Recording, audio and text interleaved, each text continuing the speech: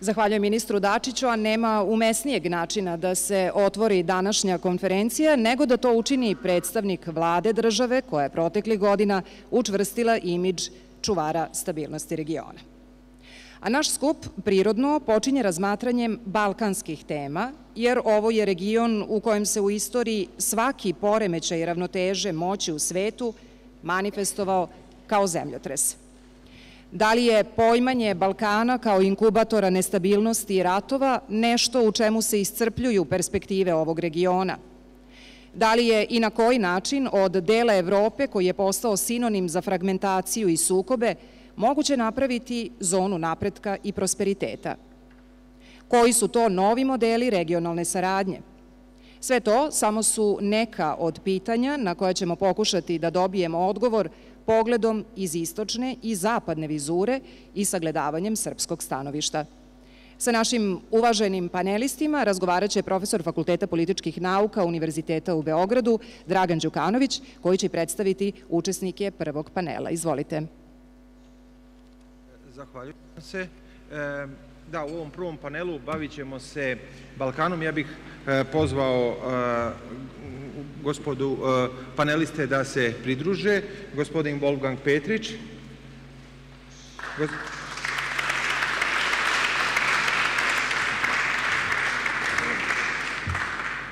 Gospodin Sergej Želežnjak.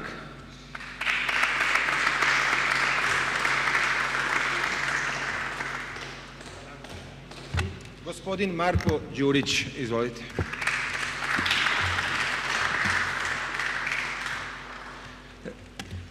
Zapadni Balkan se e, nalazi pred zaista brojnim izazovima proteklih nekoliko godina. Vidna je zaista izrazita nestabilnost u pojedinim delovima našeg regiona. E, postepeno očigledno je da jača i etnonacionalizam i radikalizam. Očigledno je da i sama migranska kriza je samo dodatno produbila od, e, da kažemo, nesporazume koji su postojali između zemalja E, zapadnog Balkana. Takođe, tu je i gotovo deset godina duga e, ekonomska kriza. Suočeni smo i sa utrkom različitih subjekata na, u našem regionu. Dakle, s jedne strane Evropska unija, e, Sjedinjene američke države, Ruska federacija, Kina, pa i neki drugi regionalni akteri poput Turske. Dakle, u ovom prvom panelu ćemo se fokusirati na perspektive Balkana, kakva je njegova evropska perspektiva, kakvi su bilateralni i multilateralni potencijalno problemi u našem regionu. Kao što znate, e, u većini e, država Zapadnog Balkana postoje objektivno određeni problemi na koje je e, ukazao pre nekoliko meseci i e, slovački diplomata Miroslav Lajčak, ukazujući da je najmanje četiri e, države našeg regiona se nalaze u dubokim, u dubokim krizama. Ja bih na samom početku zamolio gospodina Wolfganga Petrića, iskuznog austrijskog diplomatu, koji jeste zaista poznavalac, jako dobar poznavalac prilika u našem regionu, Inače, ranije je bio i na funkciji visokog predstavnika u Bosni i Hercegovini i kao pregovarač Evropske unije učestvovao u pregovorima o Kosovu koji su bili vođeni 1999. godine u Rambujevu. Gospodine Petrić, nedavno sam pročitao jedan vaš intervju gde ste govorili da je i Evropska unija s jedne strane i Zapadni Balkan su pred određenim izazovima. Rekli ste da možda preti proces balkanizacije Evrope, a ili evropeizacije Balkana. Pa bih vas zamolio da sada uh, uzmete reč. Izvolite.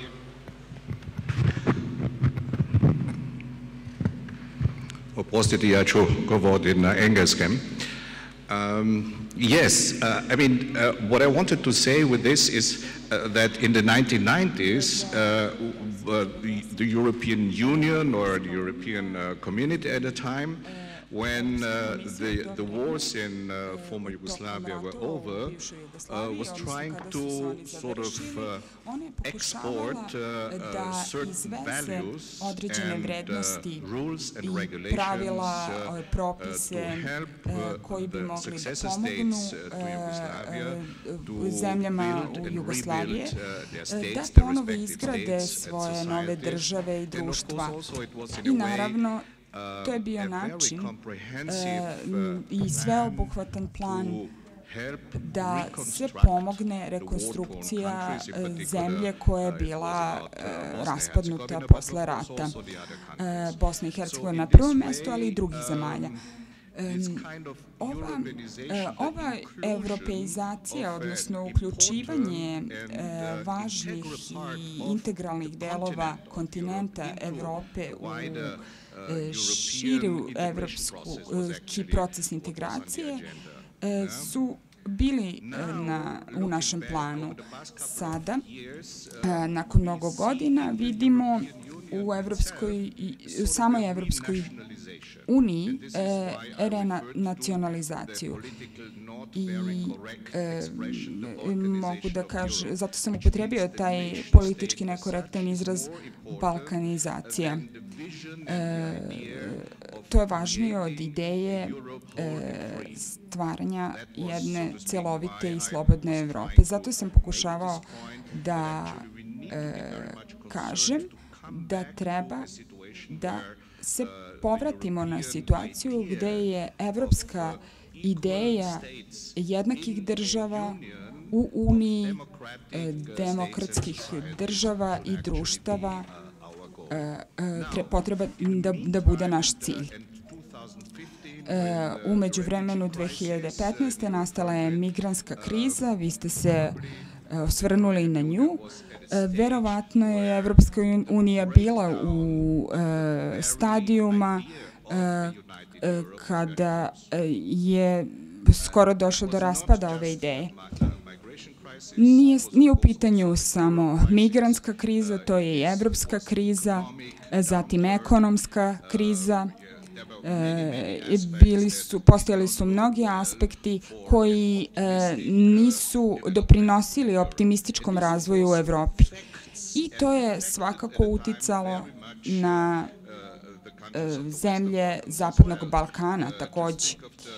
E, samo pomislite na krizu sa izbeklicama, zatim Balkansku rutu, e, gde su i Srbija i Hrvatska odigrale važnu ulogu e, u pomaganju na humanitaran način e, kada su se suočavali sa ovim problemom. E, to je e, e, prvi deo krize. Međutim, e, migrantska kriza je pokazala koliko je važna saradnja, e, koliko je važan evropski duh e, koji je potreban da bismo sarađivali. Umeđu vremenu ono što se desilo, e, desili su se izbori u Francuskoj, zatim e, dolaze izbori u Nemačkoj, Holandiji i to je dokaz e, da postoji vitalnost ideje e, Evropske unije e, i koja je veća i koja je porasla u odnosu na 2015. godinu. Tako da e, je tu ekonomska kriza, e, e, zatim sada i porast posle krize, ekonomski porast e, i e, zemlje kao što su Portugalija i Španija e, su pod kontrolom. E, Grčka je još uvek najveći izazov po tom pitanju, ali mislimo da su i oni na dobrom putu.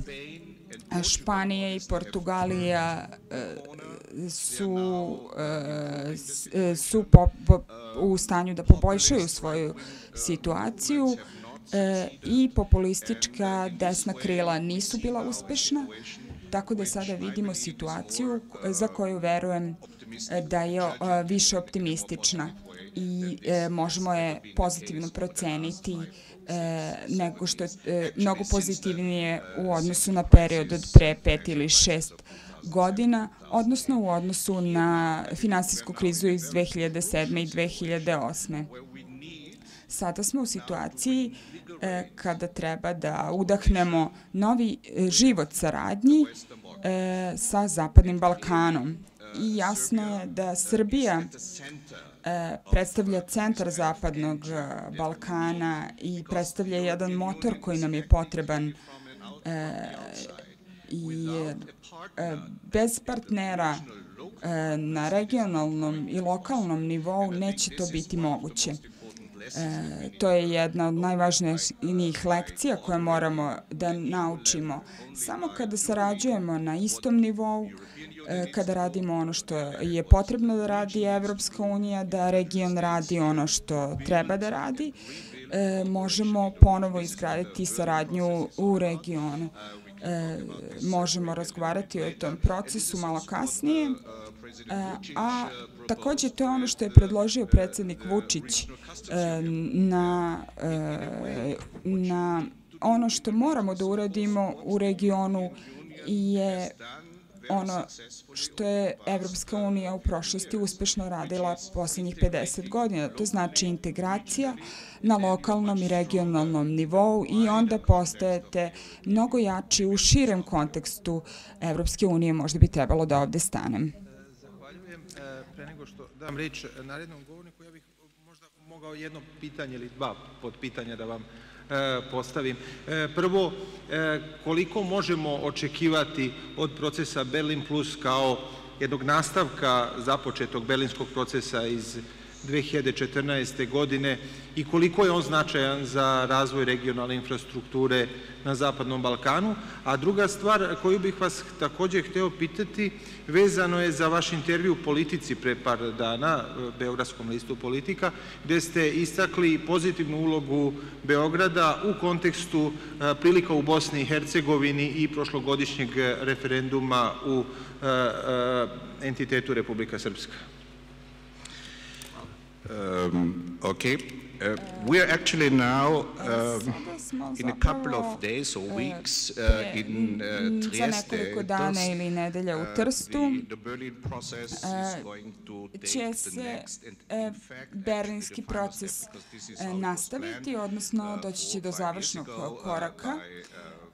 On je počeo pre pet godina i započela ga kancelarka Merkel, koja prvo je bio u Berlinu, zatim u Francuskoj, a sada je u Italiji i koja je domaćin i E, e, mislimo da, da smo dobili nekoliko pozitivnih rezultata. E, daleko smo od rešenja, ali kada govorimo o povezanosti, o infrastrukturi, e, ovo su projekti koji će biti e, tu mnogo, god, u, mnogo godina u budućnosti. E, e, tu je bio prisutan nemački ministar inostranih poslova, Gabriel, i, koji je predstavio agendu Berlina Plus procesa i e, on je predložio da se doda IT e, i da se u regionu napravi velika konferencija o digitalnoj industriji, o digitalnim pitanjima. E, ja mislim da je to vrlo dobra inicijativa i siguran sam e, da će biti dobro prihvaćena. E, To se nalazi takođe na agendi e, samita u Trstu. Ono što berlinski proces takođe želi da uradi je da doprinese onome e, što je Vučić e, predložio, što je Han predložio, federalni kancelar Christian Kern koji je takođe to predložio I e, min, e, Vučić je bio veoma, veoma e, pozitivan kada je u pitanju ova ideja. Mi smo deo Balkana. Mislim da jednom kada postignete da da je se Balkan prihvata kao kad pričamo o Skandinaviji. Kada govorimo o Skandinaviji, niko nema negativne konotacije tog izraza e, i tu je uključeno naše emocionalno prihvatanje ovog regiona. E, posmatramo ta mesta kao važne e, ekonomske i kulturne regije, a to želimo da postignemo i sa Balkanom. Ali to bi potrebno je da to bude Evropski Balkan, sad se vraćam na evropeizaciju, vrlo je važno da unesete svoje, e, tu svoje vrednosti i svoje kontakte. Recimo, e, premijer Dačić je, je spomenuo Rusiju i Kinu i e, Tursku. Da, to su sve partneri u ekonomskom smislu, neki u kulturnom smislu, ali ono što je važno u ovom kontekstu e, nije da se, da se isključimo, već da e, uspostavimo ista pravila. E, šta je pravilnik, kako, kako postupamo jedni prema drugima. Verujem da e, stvarno treba da diskutujemo ovo detaljnije jer je u pitanju teška situacija, posebno između Rusije i Evropske unije. Za mene lično, e, ja mislim da bi bila e, greška što nismo više radili u smislu diplomatije i politike, ali Evropska unija odlučila E, da uradi tako. E, u Austriji mi verujemo u slogan ove konferencije da bi trebalo da se uključimo u dijalog, pa čak i ako je taj dijalog težak. E, ako je e, dijalog između Austrije i Srbije nije uvek bio lak, nekad je bio kontraverzan, ali e, e, mi moramo da gledamo na stvari opet na optimističan način kada je u pitanju infrastruktura, e, to je dugoročan projekat, drugi partneri su dobrodošli ako Kinezi i Rusi jesu za sada uključeni ovde. Potrebno je da nađemo zajedničko razumevanje o čemu pričamo i šta su pravila uključivanja u tu u infrastrukturne projekte. Mislim da je to uglavnom ono što sam žela da kažem. Hvala vam. Sada bih e, e, zamolio gospodina Sergija Železnjaka, zamenika sekretara Generalnog savjeta partije Jedinstvena Rusija i deputata Državne dume Ruske federacije, kao i člana odbora Državne dume za međunarodne poslove, da uzme reč. Izvolite. Hvala. Dobar день, dragi prijatelji, dame i gospoda.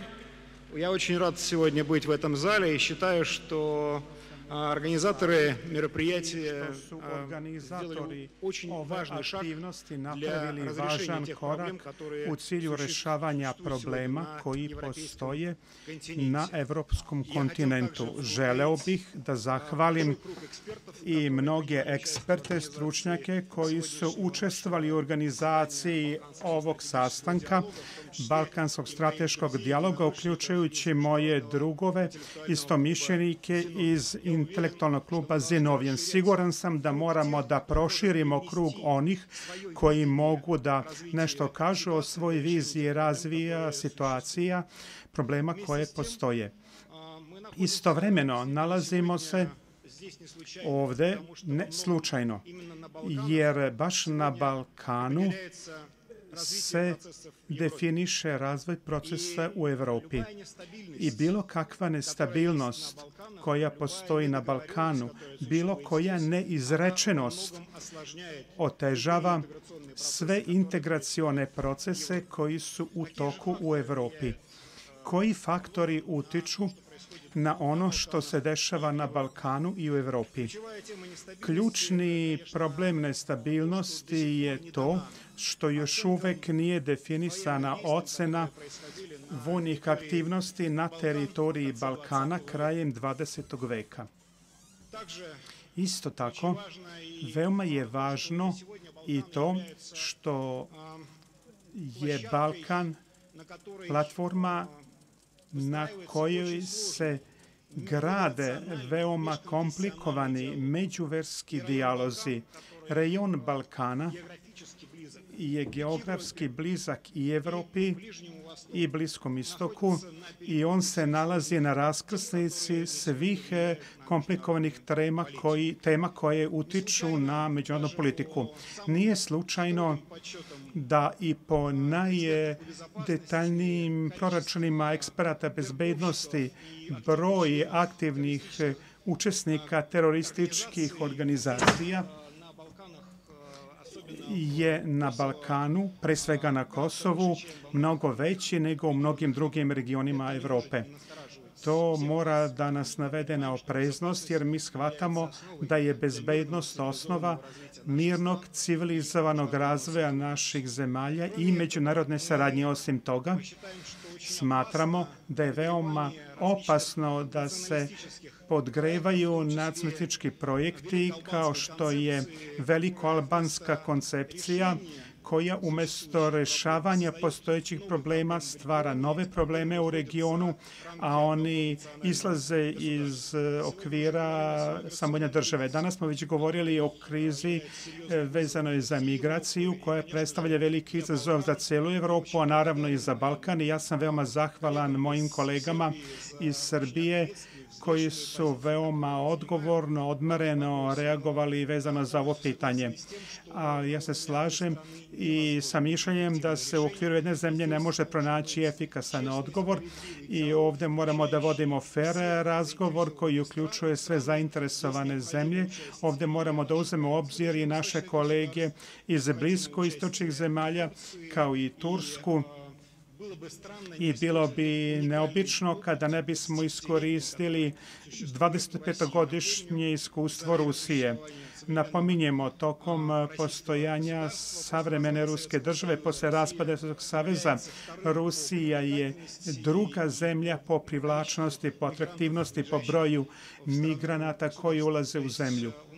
Drugim rečima, mi imamo mnogovekovno iskustvo rešavanja međuversih, međunacionalnih odnosa i problema i imamo savremeno iskustvo rešavanja pitanja migracije, pri čemu e, se žestoko suprostavljamo pretnji terorizma.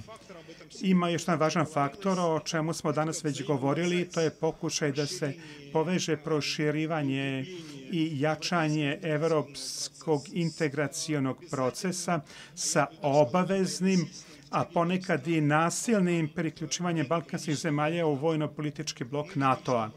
Vidimo šta se dešava u balkanskim zemljama i shvatamo da ništa osim povećavanja napetosti i raskola u građanstvu tih zemalja. Znači, to je jedino do čega može dovesti takvo uvlačenje tih zemalja u vojni blok NATO. U Makedoniji vidimo kako se u spoljnu podršku pokušava da se slomi nacionalna identičnost, da se ponovo napiše istorija i suština te države koja se spominje još u Bibliji.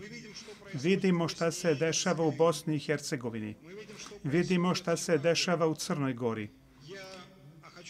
Želeo bih da posebno skrenem pažnju na ono što se sada dešava na Kosovu i Metohiji u srpskim regionima koji uz popustljivost mnogih država pokušavaju da formiraju naoružane odrede koji su u potpunosti u suprotnosti sa međunarodnim pravom i dogovorima koji su na snazi vezano za rešavanje situacije na Kosovu.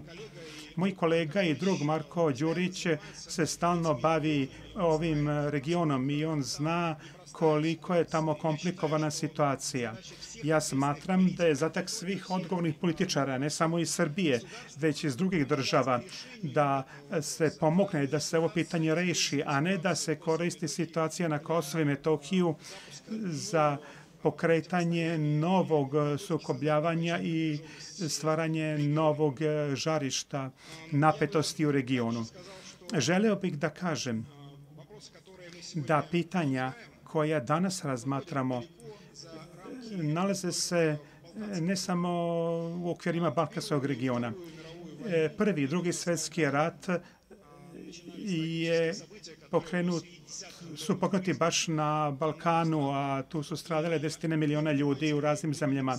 I nepažljiv, neodgovoran odnos prema ovom istorijskom iskustvu stvara pretpostavke za nove nesreće, za nove bejde, koje, uzimajući obzir nove tehnologije naoružanja, mogu da obuhvate celo čovečanstvo, bez izuzetka. Zbog toga je veoma važno da na Balkanu bude mir. Zbog toga nam je važno da se podržavaju one inicijative, oni projekti koji mogu doprineti humanitarnoj saradnji, ekonomskoj integraciji, kulturnoj i etničkoj raznoobraznosti, uzimajući obzir e, istoriju Balkana. Mi se nalazimo na, u gostoprimljivoj e, Srbiji. E, Srbija je u mnogo čemu ostrvo bezbednosti. U mnogo čemu ona je primer za druge balkanske zemlje one primere kako se može dosledno i usmereno obnavljati posle tragičnih događaja koji su se dešavali krajem 20. veka. Ja sam siguran da ovo iskustvo mora ne, da, ne samo da se aktivno proučava i podržava, već mogu da kažem da sam zahvalan e, što sam već čuo te reči da bilo koja saradnja e, ne treba da krši mnogovekovne tradicije, već da ih koristi. Mi u Rusiji nikada nismo gledali na pitanje e, postojanje alternativa saradnje balkanskih zemalja sa nama ili sa Evropom. Potpuno je jasno da Srbija i druge balkanske zemlje koje se nalaze u centru Evrope predstavljaju deo Evrope i oni moraju da realizuju potencijal saradnje koji postoji sa Evropskom unijom, sa evropskim zemljama koje nisu u okviru Evropske Evropske unije. Međutim, vrlo je čudno kada vidimo da neko pokušava da napada, da iskrivljava E, mnogovekovne bratske tradicije koje postoje sa srpskim narodom i sa velikim brojem drugih balkanskih naroda. Kada neko pokušava da uništi, da obriše e, vekovna sećanja, to dovodi do nestabilnosti, do vrlo opasne meše ljudi koji se lako mogu, kojima se lako može manipulisati, a to razno koriste razni ekstremisti. Mi ne bismo želeli da neko pokušava da na Balkanu e, tako eksperimentiše. Mi smo zahvalni srpskom rukovodstvu jer istovremeno sa institucionalizacijom odnosa sa Evropskom unijom i formiranjem organa izvršnih vlasti koji se bave time. Oni formiraju i nacionalni savet koji se bavi e, sistematskim razvojem odnosa sa Srbije sa Rusijom i Kinom. Mi zaista smatramo da smo saveznici, da smo prijatelji Srbije i ja sam siguran da možemo da mnogo toga uradimo da Srbija u i u odnosima sa zapadnim partnerima ima mnogo sigurniju i argumentovaniju poziciju, jer saradnja i sa Rusijom, Kinom, i sa Evropom, i sa Sjedinjeničkim državama treba da obezbede e, prosperitet i srpskom narodu i ja bih e, želeo da takva situacija bude i u drugim e, balkanskim zemljama. Vi znate da se sada aktivno razvija regionalna koncepcija B4. To je koncepcija vojnog neutralnosti vojne neutralnosti balkanskih država. Da, to je rešavanje koje mora da prihvati svaka država, ali mi smo sigurni da uspesi Srbije u mnogo čemu su vezani baš za doslednu odbra, za odbranu ovog neutrali, ove neutralnosti koju zemlja realizuje bez obzira na pritisak koje trpi. U savremenom svitu nema mnogo suverenih država i mnoge države ne mogu dozvole sebi da budu nezavisne. Činjenica da Srbija i dalje uspeva u tome, to svedoči da je veoma odmerena i pametna politika koju vodi njene rukovodstvo, rukovodstvo Srbije. Želeo bih da istaknem još jednu činjenicu novo izabrani e, predsjednik Aleksandar Vučić ističe perspektive formiranja Carinskog saveza zajedničkog tržišta sa zemljama Evrope, a da pri tome naravno ta saradnja mora da uključi i postojanje posebnih ekonomskih odnosa sa Rusijom. Mi u našim bilateralnim odnosima ćemo nastaviti konsultacije po tom pitanju i ja sam siguran da će sinergija ove saradnje biti veoma interesantna i korisna kako za Srbiju, tako za ceo Balkan. Ako govorimo o našoj današnjoj platformi, e, možemo reći da je to unikalan format u okviru savremenih e, procesa.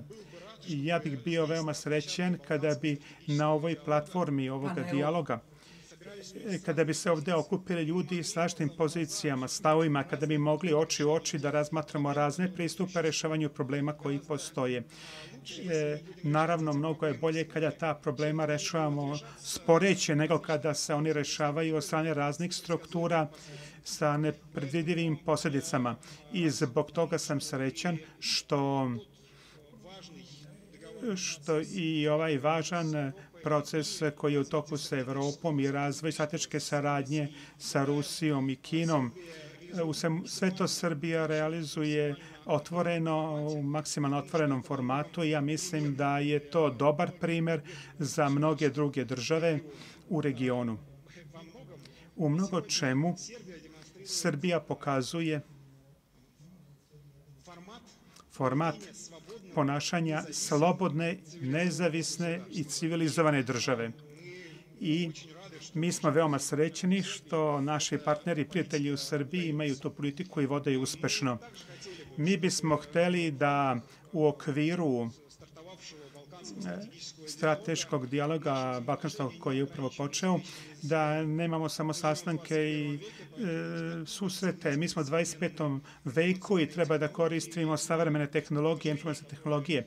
Jedan od predloga koji bih hteo da kažem organizatorima je da se formira stalni interaktivni forum gde bi se mogle voditi tematske diskusije i razmatranje stručnjaka u onlajnu, a to bi se moglo koristiti i za obezbeđivanje zaključaka koji bi se mogli koristiti tokom naših aktivnosti. Sve u svemu, svet, svet ne postaje jednostavniji. Mnogi procesi koji su u toku tek počinju da menjaju situaciju i naš odnos prema njima. I što više bude dijaloga i platformi, to će biti više i prostora za saradnju i to će biti manje mogućnosti e, za one snage koje žele da unište svet. Takvih snaga postoji mnogo, a mi znamo da te snage će aktivno koristiti suprotnosti koje postoje u svetu da bi ostvarili svoje ciljeve. I nikom slučaju ne smemo da prepustimo civilizovani prostor onima koji pokušavaju da nas uvuku u rat, u haos, u rušenje i u procese koji predstavljaju direktnu pretnju čovečanstvu, uključujući politiku i humanitarnu svetu i pitanja očuvanja prirode i kulturnog i etničkog e, diversiteta. Sve to treba da rešavamo u okviru dijaloga i ja se nadam da će naš balkanski strateški dijalog biti primjer takve uspešne saradnje. Još puta hvala svim organizatorima za ovu mogućnost. Hvala. Hvala gospodine e, Železnjak i vas bih jedno dodatno pitanje e, pitao. Rekli ste da se koncipira nekakva B4 grupa. Možete li nam reći o čemu se radi? Pretpostavljam da su to zemlje koje smatrate da trebaju biti vojno neutralne, ali imajući u vidu situaciju na Zapadnom Balkanu postoje određene aspiracije, dakle Crna Gora je početkom ovog meseca već postala članica NATO-a, u Makedoniji je nesporan konsenzus e, oko članstva u NATO i tako, pa me zanima e, taj koncept e, B4 ukoliko možete. Hvala.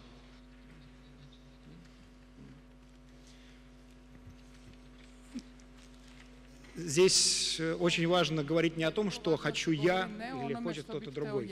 Здесь важно говорить о том, какие вопросы обсуждаются здесь, на Balkanu. U bilo kom slučaju ja bih jako želeo da sve odluke koje se donose u pogledu Balkana, da se ne donose u Vašingtonu, Briselu, u Moskvi ili u Pekingu. Ja bih želeo da se sve odgovorne zemlje stvaraju uslove da se balkanske odluke donose same balkanske države. I na taj način da mi sve na svak podržavamo i poštujemo suverenitet balkanskih zemalja. Što se tiče koncepcije B4, ta je koncepcija koja se rodila ovde na Balkanu. To je koncepcija koja objedinjuje različite e, političke i društvene snage balkanskih zemalja koje stvarno smatraju da vojna e, neutralnost e, za Balkan je isplativija, perspektivnija nego učešće u ovim ili onim vojnim i političkim blokovima blokovima ili alijansama. Evo, Srbija je izrazit primer ne, vojne neutralnosti, a druge balkanske zemlje imaju trenutno različite statuse, ali mi vidimo da i u toj Crnogori istoj e, pitanje članstva u NATO je postalo e, uzrok eskalacije unutrašnje napetosti i mi jako želimo da ta napetost nikako ne pređe u neki još žešću fazu. Jako je važno da se pruži mogućnost narodu da se oni izjasni po tom pitanju. A kao što poznate, Crnoj Gori su pokušavali sve moguće načine da spreče referendum o članstvu u NATO. I ja, što se Makedoncije tiče, ne bih rekao da tamo ima. Те договоренности, которые существуют на уровне элит, и ту позицию, которая есть в народе.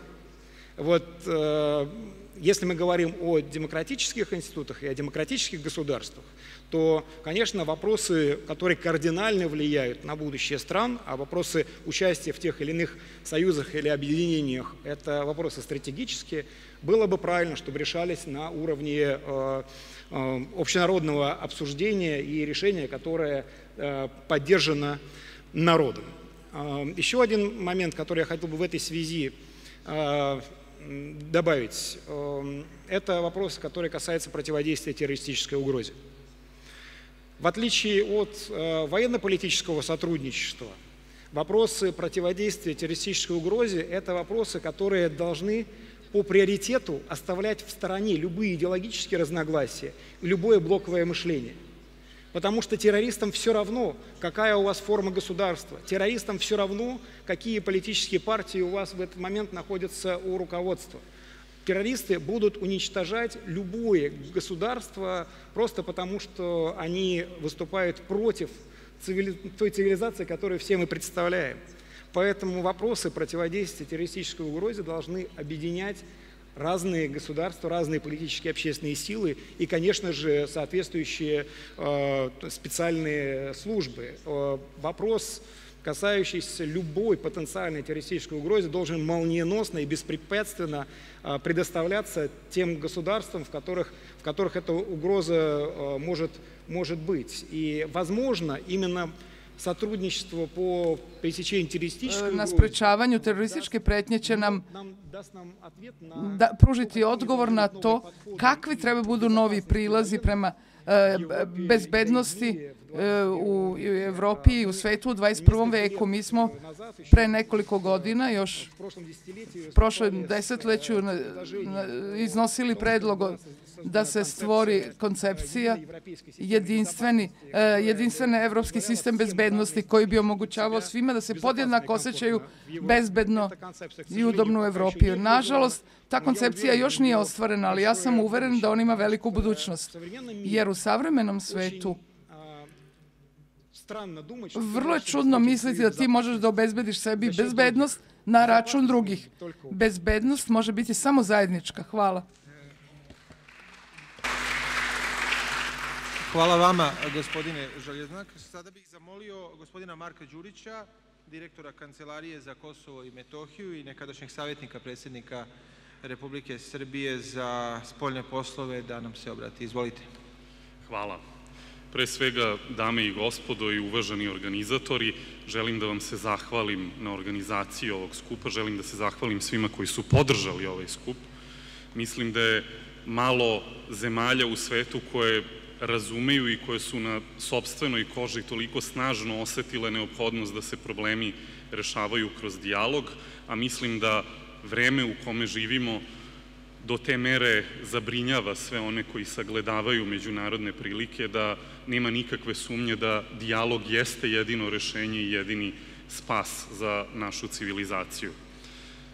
Naravno, ne možemo da govorimo o odnosima na Balkanu, a da se ne setimo da sledeće godine obeležavamo 100 godina od završetka Prvog svetskog rata na ovim prostorima.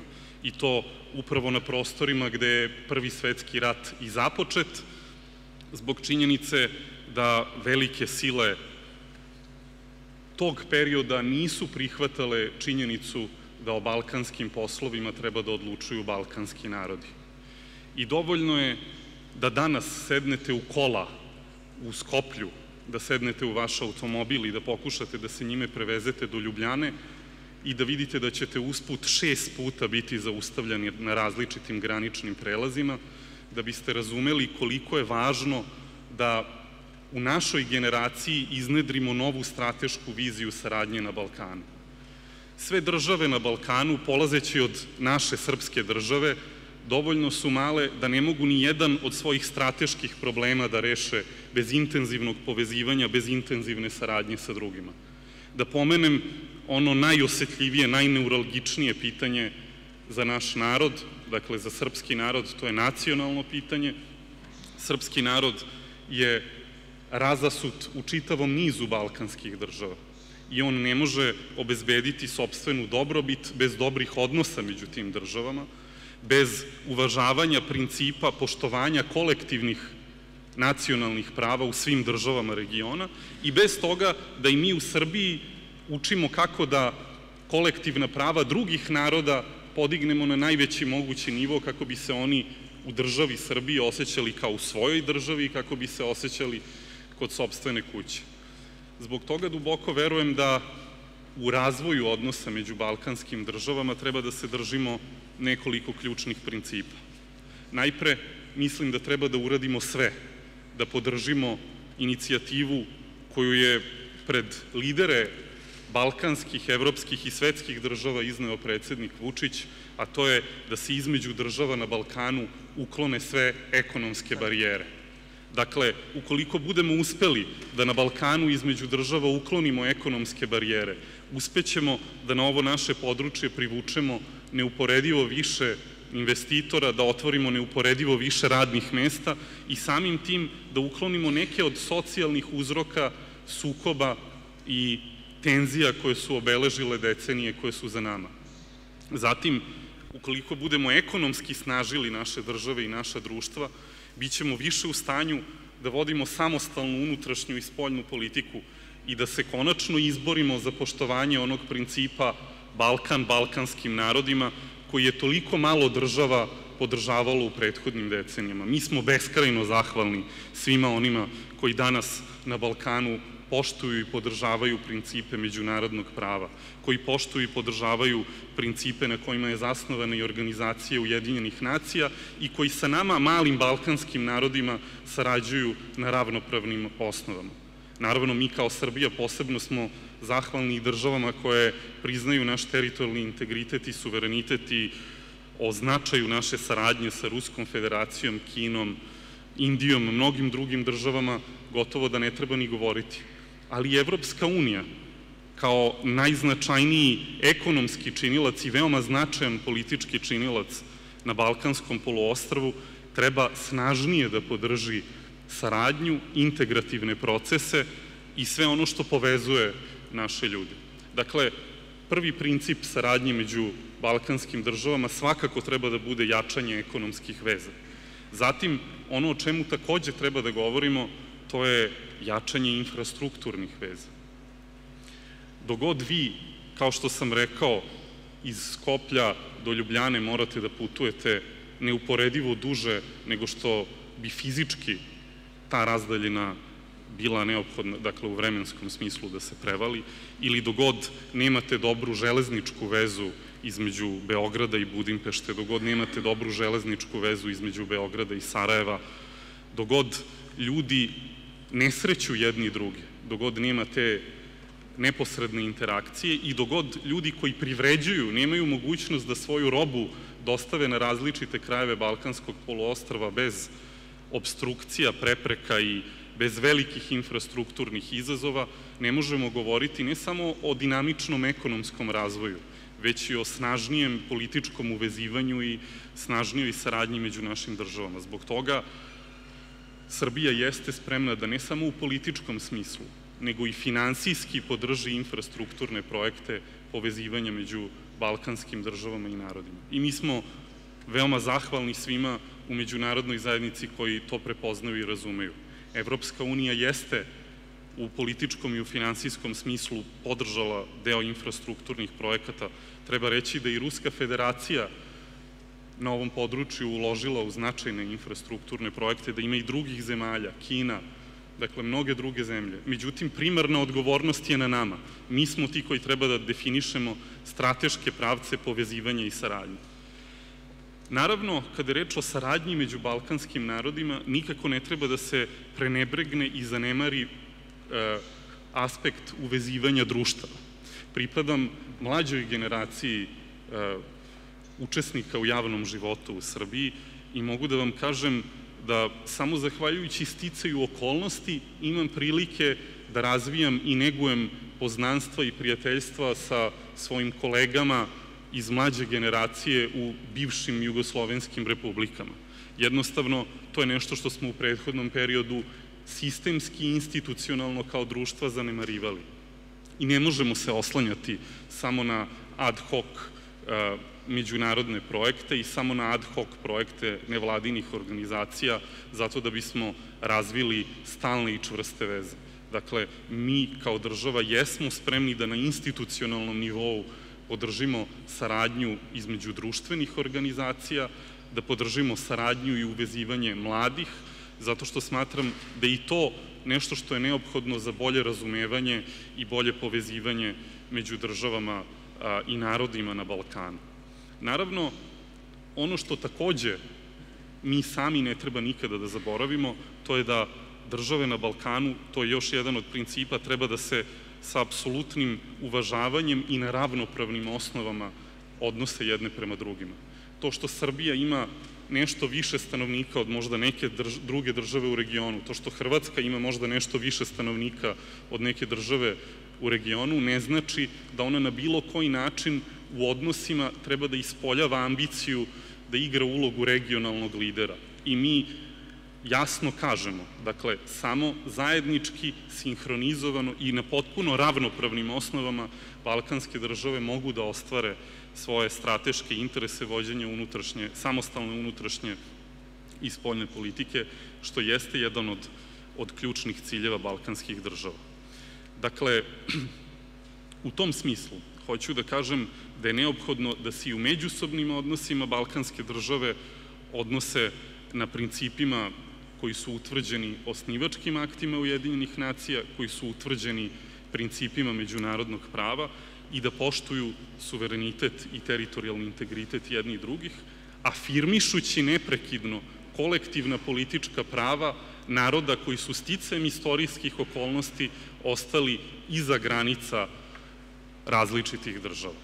I kao neko ko je trenutno na čelu institucije koja se u Srbiji bavi Kosovom i Metohijom, ne mogu da ne kažem nekoliko reči o bezbednostnim i političkim izazovima koji dolaze iz kršenja principa suverenosti, nepovredivosti granica i osnovnih elemenata međunarodnog prava. Naime, želeo bih da podsjetim ovaj uvaženi skup da je 2008. godine u februaru mesecu bez učešća institucija Republike Srbije, bez provedenog izjašnjavanja građana Republike Srbije u celini, bez provedenog izjašnjavanja građana čak i na području južne srpske pokrajine Kosovo i Metohija, suprotno međunarodnom pravu, došlo do jednostranog proglašenja nezavisnosti naše južne pokrajine, koju mi nismo naravno priznali kao nezavisnu državu, i da je to rezultiralo dodatnim pogoršanjem odnosa među narodima na Balkanu.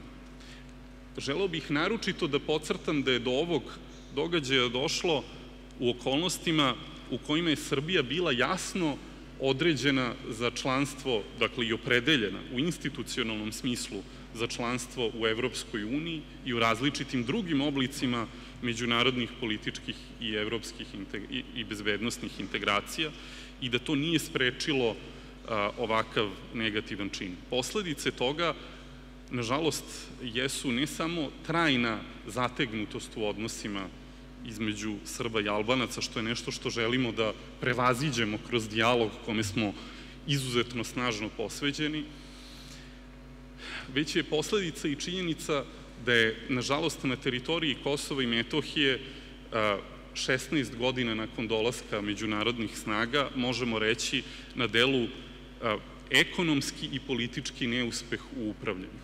I dovoljno je da kažem da je na toj teritoriji danas stopa nezaposlenosti mladih 63%, što je daleko najviše u odnosu na bilo koji drugi region u Evropi, pa da kažem da je neophodno da se razgovara o novim modelima i novim oblicima saradnje. Zato što zatvaranje u autarkične celine, zatvaranje iza zidova, iza pregrada, stvaranje granica u Evropi, čiji su se narodi odavno opredelili da teže ka boljoj i većoj saradnji, zapravo protivi se osnovnim principima na kojima su zasnovane evropske integracije. Ne možete istovremeno u Briselu biti za to da se ukidaju granice među evropskim narodima, a na Balkanu graditi nove granice i nove, nove podele među ljudima i narodima. Jedna od posledica ovog negativnog razvoja koja posebno zabrinjava jeste i činjenica da je u porastu verski ekstremizam, verski radikalizam i to je nešto o čemu se malo govori, to je jedan od onih problema, jedno od onih pitanja koje se guraju pod tepih, ali koje će, bojim se, ako se ne budemo na ozbiljan način pozabavili rešavanjem političkih pitanja, doći da progoni ne samo nas, nego i buduće generacije. A ja postavljam ovde pitanje, imamo li pravo da budućim generacijama u nasledđe ostavimo tako strašan teret koji bi se ogledao u stotinama i hiljadama ljudi koji su spremni da seju teror na način na koji to čine po Bliskom istoku ili na ulicama pojedinih evropskih gradova. Zbog toga alternative dijalogu, alternative povezivanju između balkanskih naroda nema, kao što nema ni alternative poštovanju međunarodnog prava, poštovanju principa suverenosti, nezavisnosti malih država, koliko god da su male i koliko god da su na izgled u političkom smislu, da kažemo, geopolitički podložne uticajima i ugrožavanju. Republika Srbija je ponosna, mala država koja čvrsto drži do toga da sama donosi odluke o svojoj unutrašnjoj i spoljnoj politici, koja čvrsto drži do toga da zadrži svoje partnerstvo i prijateljstvo i da jača svoje partnerstvo i prijateljstvo i sa Ruskom federacijom, i sa Narodnom republikom Kinom, i sa Indijom, i sa mnogim drugim državama u svetu, koja je čvrsto opredeljena i rešena da bude deo porodice evropskih naroda, da bude na svom evropskom putu, poštujući i svoje prijatelje i partnere na istoku, poštujući i sarađujući i sa svojim partnerima na zapadu. Iako je rezultat ovog današnjeg skupa to da makar malo lakšim učinimo dijalog između zainteresovanih strana na ovom našem Balkanu, neka to bude rečenica Balkan balkanskim narodima. Hvala.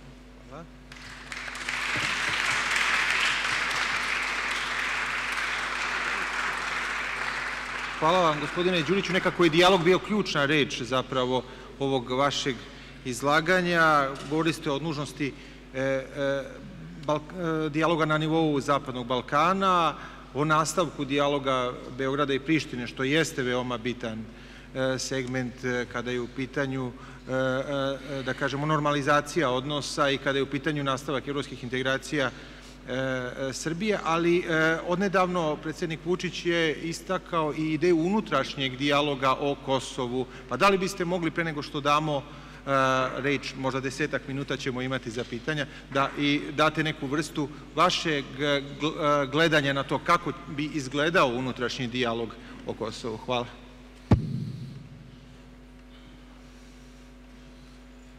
Najgora moguća stvar koju možete da uradite kada imate problem je da o njemu ćutite.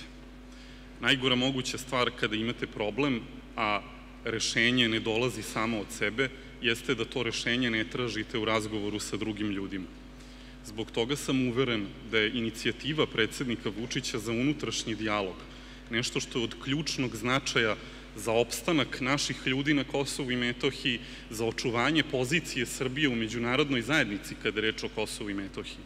Mi smo ti koji moramo prvi jasno da kažemo i da definišemo šta je to što su naši kratkoročni, dugoročni i srednjoročni ciljevi na Kosovu i Metohiji, koji moramo najpre samima sebi da odgovorimo na pitanje šta je to što mi želimo da postignemo na Kosovu i Metohiji, šta je to što mi možemo da postignemo na Kosovu i Metohiji, koji su ciljevi i koja su sredstva koje nam stoje na raspolaganju da bismo postigli određene rezultate na Kosovu i Metohiji.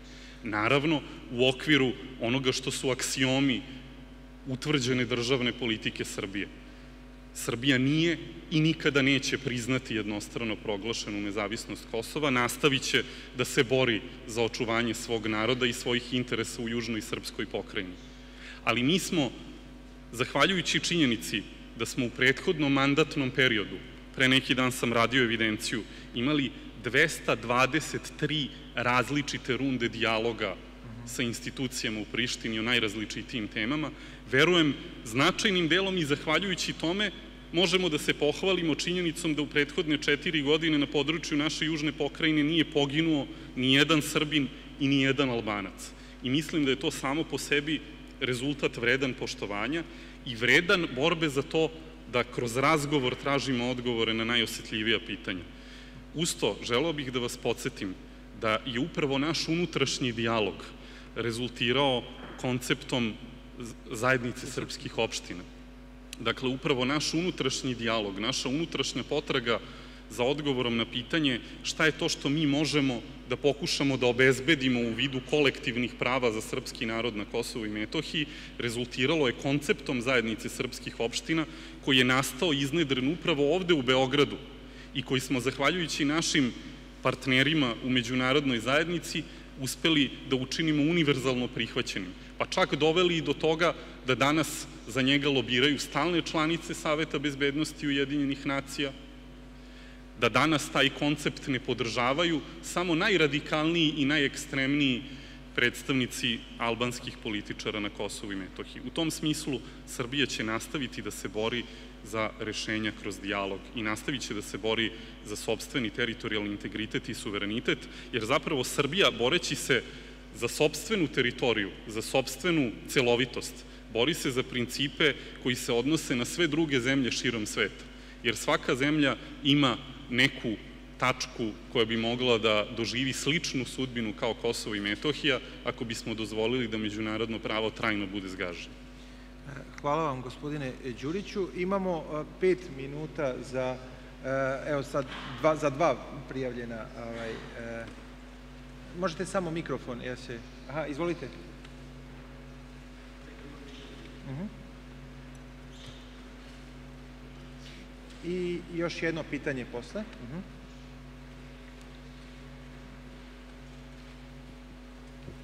Kristijan Ješić, stalni dopisnik Austrijske televizije. Prvo pitanje za Marka Čurića i gospodina Petrića. Ali upravo iskustvo ovog regiona je pokazalo da ova regija ne može da reši svoje problemi sami. To, je, to, to se vidi a, i ta regija uvek je bila naravno i, i žrtva od mešavine drugih naroda i drugih političkih sila. Kako možete sada imati uverenost da vi bez pomoći da je to Rusija, Evropska unija, Amerika može da rešite svoje probleme sami, zato što meni malo svuči nerealno Balkan, balkanskim narodima, koliko god ja mislim, to je regionalna, takozvani regionalni ownership, bilo bi dobro. И а, второй вопрос, если возможно задавать а, господину а, Железняку, скажите, пожалуйста, как вы посмотрите сейчас вообще положение Европейского Союза? Потому что э, Европейский Союз э, всегда был очень экономически сильная э, организация, сейчас э, и экономическом плане намного слабее, чем она была. Как вы посмотрите от стороны России будущее развитие Европейского Союза, потому что это и в этом регионе очень важный партнер. Спасибо. Hvala vam. Čućemo odmah i drugo pitanje, pa ako se slažete da odgovorimo, izvolite. Samo bih zamolio da se predstavite takođe. Lazar Rakić, Zubin Potok. Imam pitanje za gospodina Marka Đurića. Interesuje me kako, kako vidite nastavak procesa dijaloga Beograda i Prištine imajući u vidu prethodne rezultate parlamentarnih izbora i toga da je pokret samopredeljenje koji se kristalisao kao, kao, kao pokret koji, koji se najviše, koji je vršio, pribegavao najradikalnijim metodama u obstrukciji procesa i protivio se dijalogu i postignutim sporazumima. Dakle, da li očekujete usporenje procesa imajući u vidu to da su oni duplirali svoje rezultate, da su, se, da su ojačali kao politička struja na Kosovu? Zahvaljujem. E, možete odgovoriti. Gospodine Đuriću, hoćete vi prvi? Možda, da, hvala. Danas krilatica Balkan balkanskim narodima ne znači bilo kakvu vrstu izolacionizma.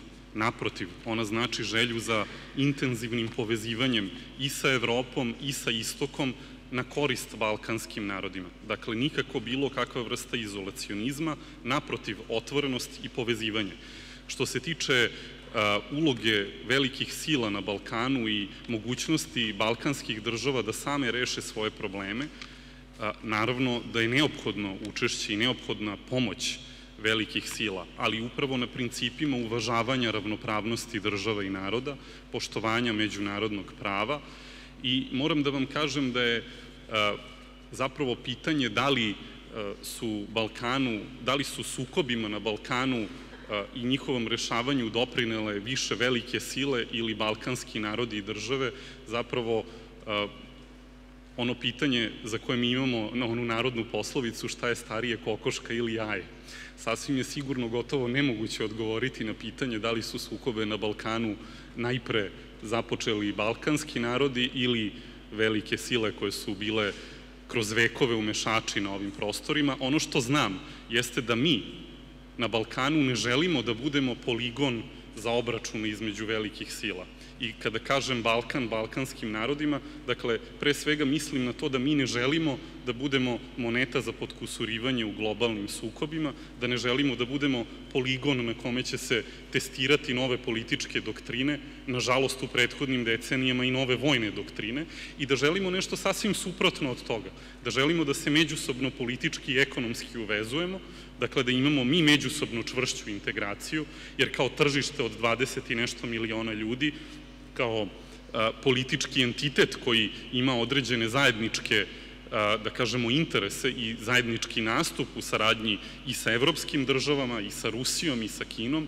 možemo da ostvarimo sigurno mnogo bolji interes i mnogo bolji doprinos globalnom miru i, da kažemo, globalnim mirnim međunarodnim odnosom. Hvala gospodine Đuriću. Gospodine Železnjak, molim vas za odgovor.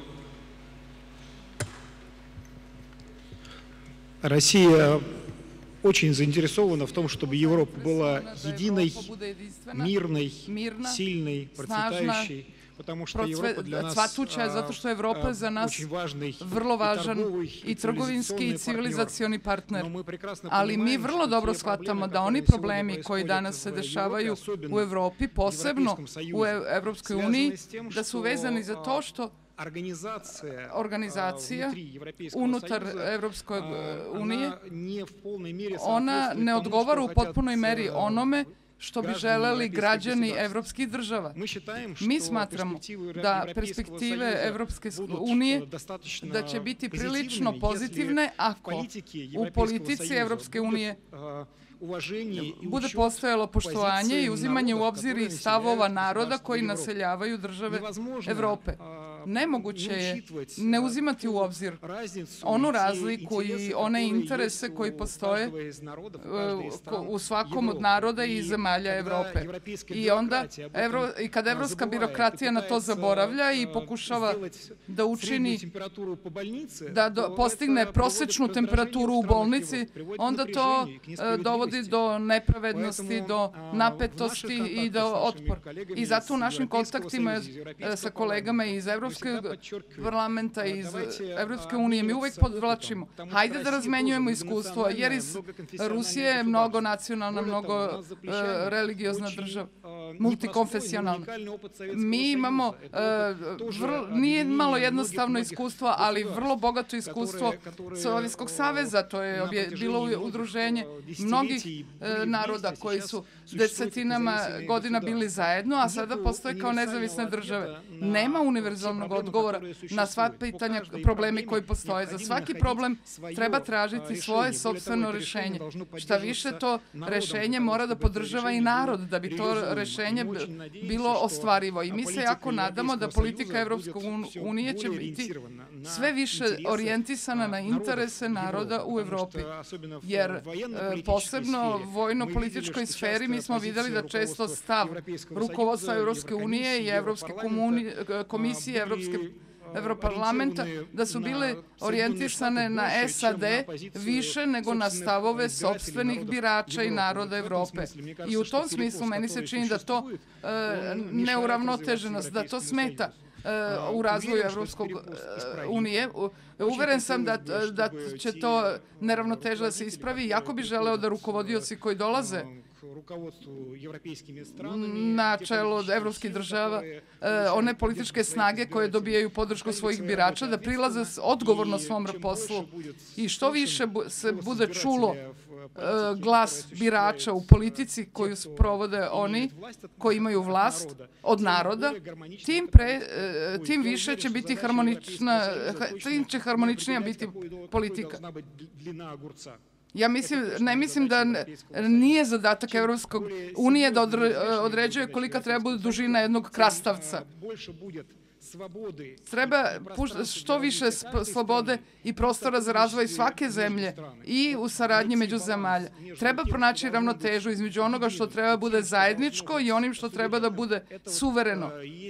E, to je upravo najvažniji zadatak koji treba da reši Evropska unija kako bi nastavila da se razvija. Hvala vam. Zahvaljujem vam se još jednom. Mislim da smo ovim prvim panelom pokazali koliko je i, i, i potreban i nužan dijalog ne samo u regionalnim, nego i u mnogo širim e, razmerama. Mislim da smo vodili jedan jako lep dijalog. Želim da se zahvalim našim panelistima i da zamolim Nadu da, da nam se obrati. Nado, izvolite.